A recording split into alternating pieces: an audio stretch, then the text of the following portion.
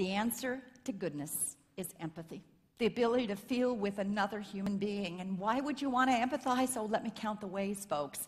Number one, it's very highly correlated to predicting our real happiness and success. It what also activates our heart, so we're more likely to step in, be courageous, be compassionate, be contributing members of society, so we can re-evolutionize our world.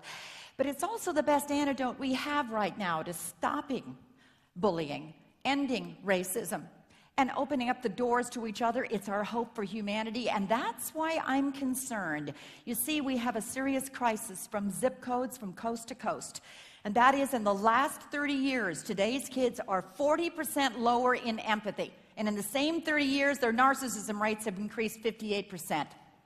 Call it the selfie syndrome, folks, but what we're dealing with is self absorption kills empathy. What we need to be doing is raising unselfies, not selfies. Empathy is a verb, it needs to be active, it needs to be meaningful, it needs to be real.